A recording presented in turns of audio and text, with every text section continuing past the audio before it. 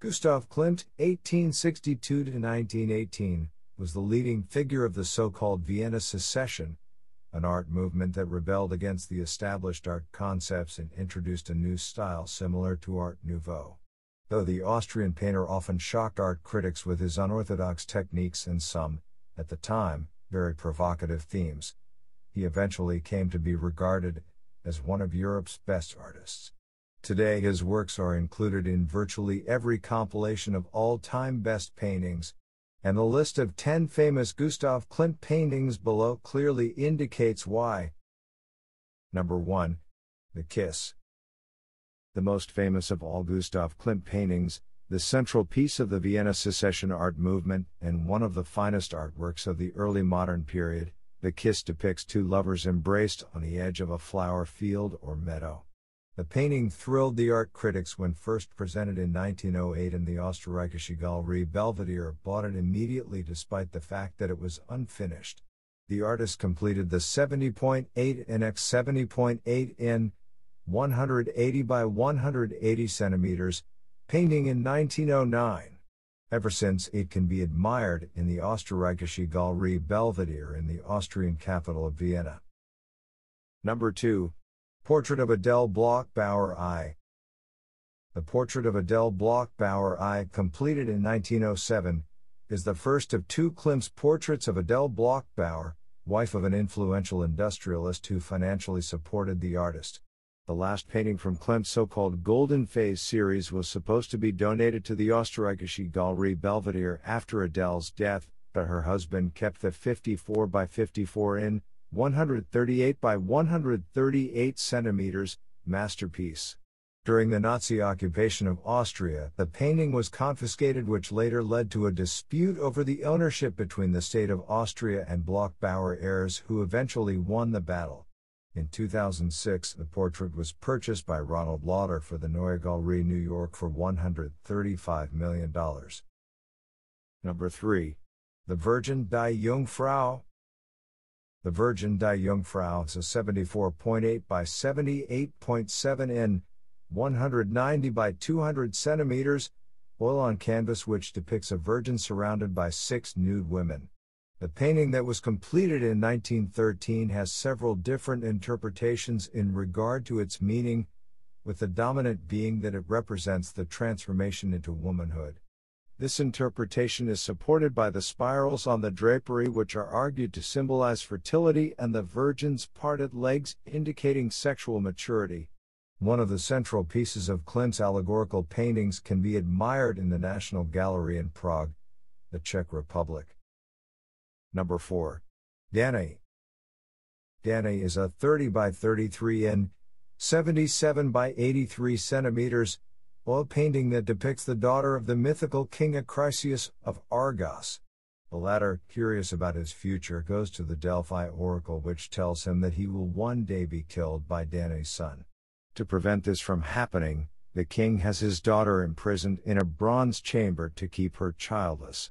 One night, however, she is visited by Zeus, who comes to her in the form of golden rain and impregnates her. Klimt captured the moment of Zeus coming to Danae, which clearly indicates the golden rain between her legs. The painting, which was completed in 1907, is today displayed in the Galerie Würthle in Vienna, Austria. Number 5. The Three Ages of Woman. Completed in 1905, the 78 by 70 in 198 by 178 centimeters painting titled The Three Ages of Woman sometimes also referred to as the mother and child, depicts three women at three different stages of life childhood, young adulthood slash motherhood, and old age.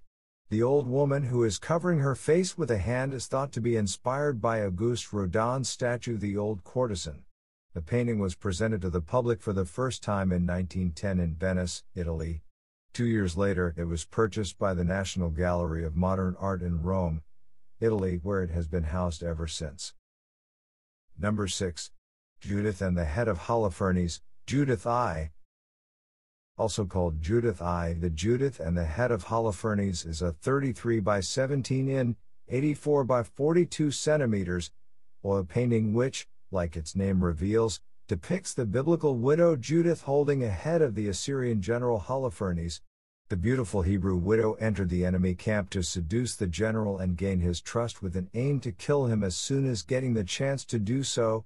One night Holofernes gets dead drunk and the beautiful widow takes the opportunity to decapitate him by which she helps the Israelites defeat the invader. The painting that was completed in 1901 is today on display in the Österreichische Galerie Belvedere in Vienna, Austria. Number 7. Portrait of Fritza Riedler.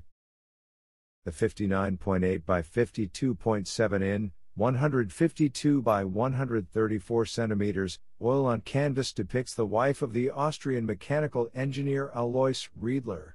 One of Klimt's most famous portrait paintings, highly fashionable among Vienna's elite at the time, is admired for an outstanding contrast between naturalism and three dimensional effect.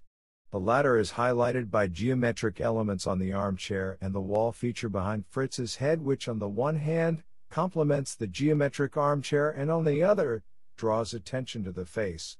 Like many other Klimt paintings, the portrait of Fritza Riedler, completed in 1906, is today held in the Österreichische Galerie Belvedere.